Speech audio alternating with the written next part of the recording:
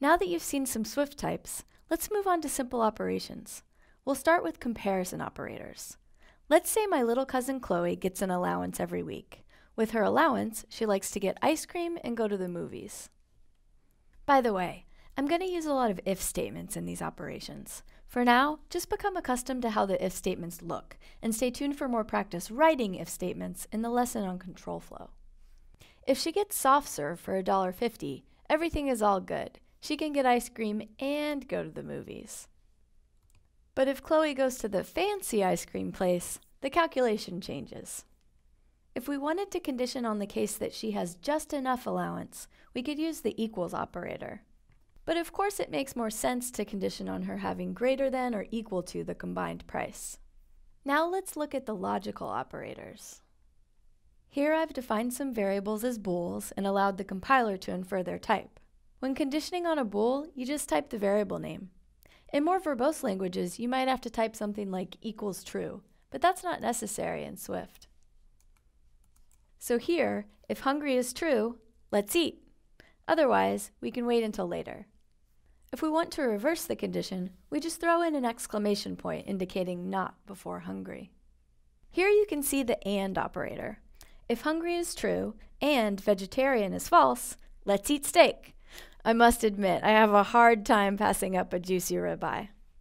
But if hungry is true and vegetarian is also true, let's go for pumpkin curry. If neither is true, then never mind. Now, there are a few cases in which hunger is not a necessary condition for eating, and for me, that would be when there is pie. Here you can see the OR operator. So here, if hungry is true or there is pie is true, let's eat. Now, I'm sure comparison operators and logical operators are a piece of cake for most of you. The ternary conditional operator is a little less intuitive, but it can be super convenient once you get the hang of it. Apple summarizes ternary conditionals nicely in the book Swift Programming Language, using this theoretical example. Here, if question is true, then the result is answer 1. Otherwise, the result is answer 2. So the previous examples could be written as follows. If hungry is true, let's eat. Otherwise, let's wait. If hungry is true or there is pie, let's eat. Otherwise, let's wait.